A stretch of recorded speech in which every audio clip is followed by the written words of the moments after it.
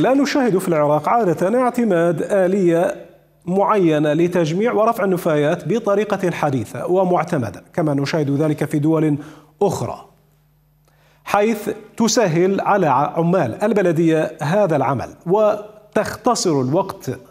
وهذا طبعا بحاجة إلى تطوير الوسائل والإمكانيات واستيراد الآليات الحديثة. لذلك في مدينة الكوفة اعتمدت مديرية البلدية هناك اعتمدت الحاويات الجوفية وهي ظاهرة حضارية جديدة معتمدة في دول الجوار وفي دول أخرى متقدمة واعتمدت أخيرا في العراق في مدينة الكوفة حيث وضعت في كورنيش الكوفة بسعات كبيرة وأيضا طالبت البلدية من المواطنين التعاون معهم لإنجاح هذه التجربة وتعميمها في باقي الأماكن والمرافق الخدمية.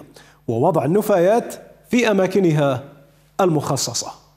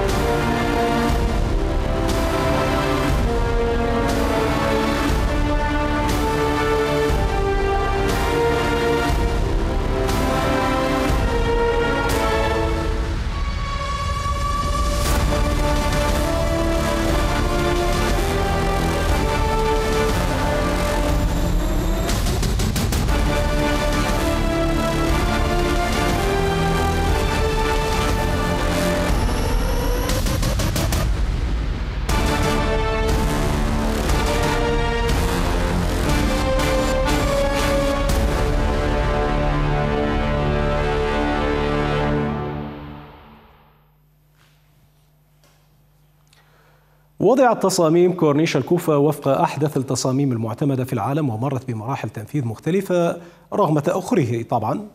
تأخر المشروع يعتبر متنفسا جديدا لأهالي المنطقة هناك وأيضا وجهة ترفيهية لقاصدي المدينة وتحديدا الكوفة.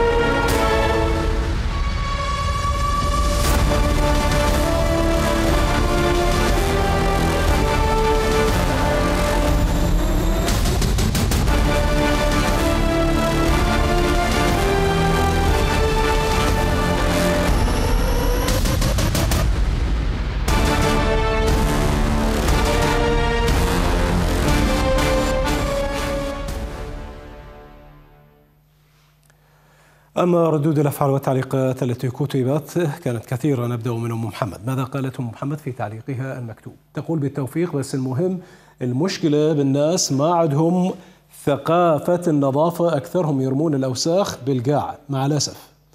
تعليق آخر من ريفو يقول في تعليقه أو رفيف تقول في تعليقه خطوة جيدة لكن المشكلة في المواطنين نفسهم والله العظيم الأكثر وليس الكل يوسخون بطريقة فظيعة. لازم تكون حملات توعية لا أكثر.